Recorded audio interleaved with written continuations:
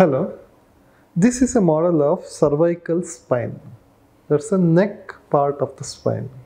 It has seven bones called C1, C2, C3, C4, C5, C6, C7. One over the other with a disc in between. These are the vertebral bodies. On the back side, you can see a highly protected ring kind of structure called cervical spinal canal through which the spinal cord passes from the base of the skull to rest of the body.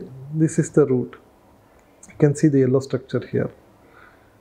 At every level, there is a pair of spinal nerves, one to the right, one to the left. Here you can appreciate.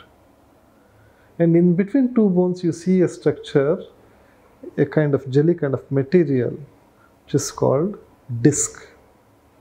When this disc come out of its confines and presses on this nerve, a kind of electric shock kind of sensation is produced in the supply of this nerve, in the area where this nerve is going to supply. These nerves supply the arms, upper limbs.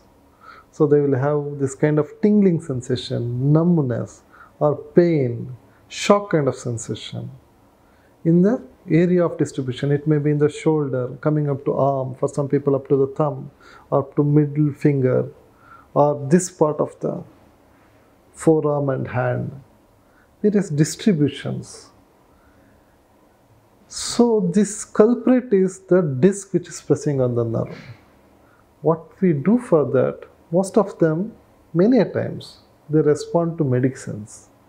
In case if it doesn't, it will require a microsurgical operation.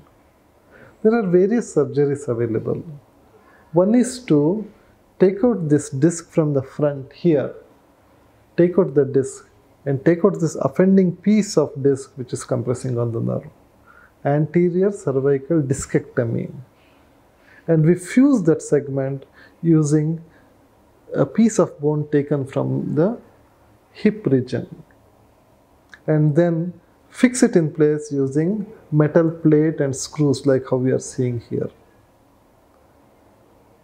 In some selected cases, what we do is a very radically different operation in which we preserve the natural disc, go from the back side and take out microscopically only that small piece of disc which is pressing on the nerve.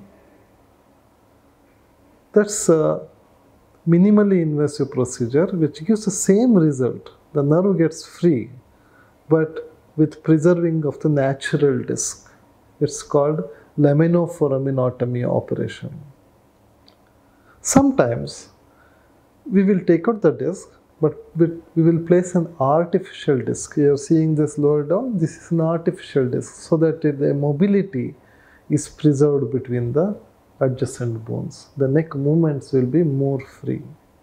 That's called an artificial disc surgery, cervical arthroplasty.